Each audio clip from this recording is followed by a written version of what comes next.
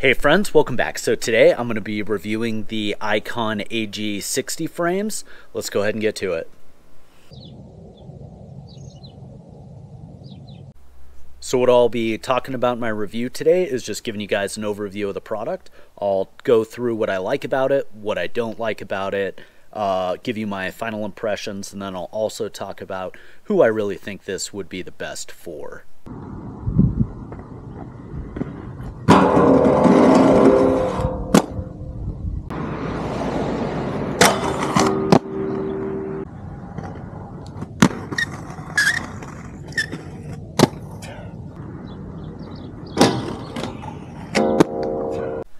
I've been riding the AG60 frames since October. I bought them with my own money because uh, I was really interested in them. They are a flat frame. They have uh, rockerable bushings for the middle wheels, and that can either make them all flat or give you a little bit of a banana rocker. I think it's like a one mil difference. Uh, the wheels that you're supposed to ride in these is 60 millimeter or uh, smaller diameter and then a round profile and that's just so you don't drag the uh, frame on the ground. Um, they come in two different versions. There is a version that is the all white, which is the glass infused nylon, and then there's a black version, which is a carbon fiber uh, in infused nylon.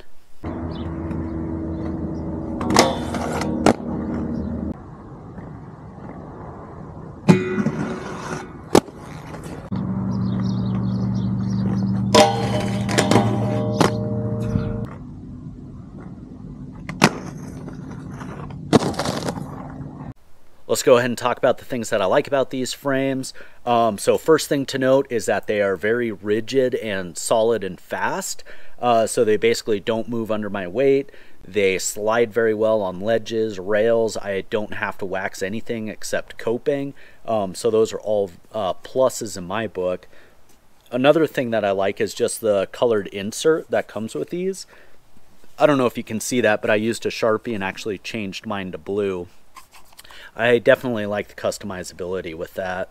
Um, you know, so one thing to note, flat frames, you know, I rode anti-rocker wheels for about 15 years and I still ride them, but I've been on the lookout for a frame that feels like I'm riding anti-rocker, but also allows me to ride flat.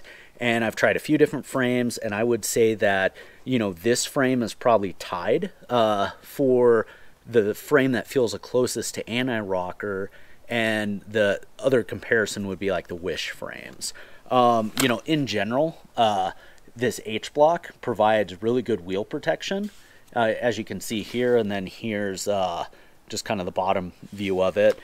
And you know, I, I barely got wheel bite. Um, you know, there were some instances where I would get it, but it wasn't very common. For the most part, these things performed how they were supposed to do. Uh, Another thing that I liked is just the one-sided axle bolts that makes maintenance on these so much easier than having to use two Allen keys.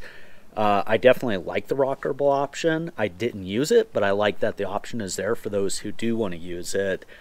Um, you know, again, H-Block provides great lock-in and wheel protection. Uh, one thing that I haven't seen really talked about is uh, on the sides, or the bottom of the sidewalls, the frame actually kind of tapers down and it provides uh, protection to the sides of the wheels.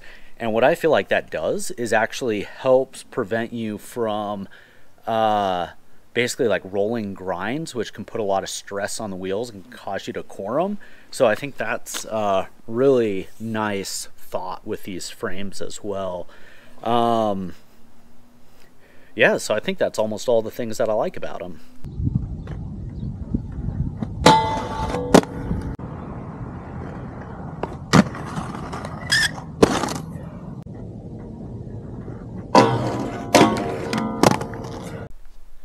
So let's move on to what I didn't like about these frames. Uh, you know, my first experience with them was basically the setup and putting the wheels in. And it's probably the most common complaint you've heard is that the setup can be really challenging to get the wheels in. I had, you know, similar issue, and I've heard it's even worse with the carbon frames. Uh, most likely what happened is that the frames were probably too warm coming out of the molds, and then when they cooled off and set, uh, they shrunk. Uh, just uh, in the middle, and so you basically have to like pry and force the way the wheels in, and you know part of the reason that is um, a negative in my book is because you know if you're hammering or pounding these wheels in, you know, that can actually damage the bearings or the cores of the wheels. And then you've just like outed yourself, you know, some parts just trying to get these things set up. Um, I did note though that once I got the wheels in, rode them for a couple sessions, wheels pop in and out with ease. Um, so that does uh, provide some validity that it's something with the way that they took these out of the molds and how they set up. Um, you know, other issue that I had is once I got these worn in, like so my first few sessions I didn't have a single ounce of wheel bite, but as you know I got some of these edges of the H block worn in, uh, I did notice that the wheels were uh, you know hitting the ledges a little more.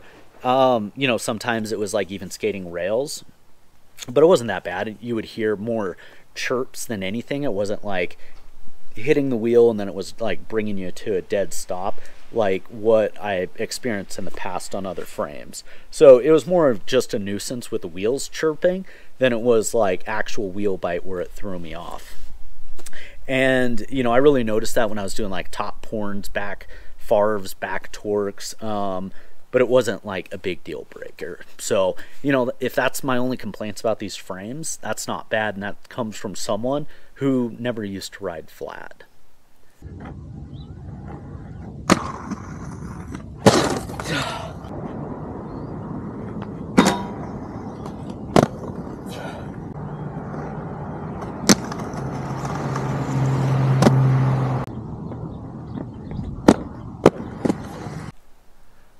So, what are my final thoughts on these frames? I think they are a well built frame. Uh, they give you a very low road height just because of the distance from the axles uh, to the top of the frame. Um, I actually liked riding these with the rollerblade blanks because the H block sits a little lower just to give you that wheel protection uh, between the two middle wheels. So having a sole plate that sits a little wider gives you a really generous angle for when you're doing royales and groove tricks. Um, really great build on these. I couldn't really ride the aluminum 50-50 frames, which is where these started out with sidewalls for that were 3D printed. But I highly recommend these for anybody who, uh, you know, is interested in them.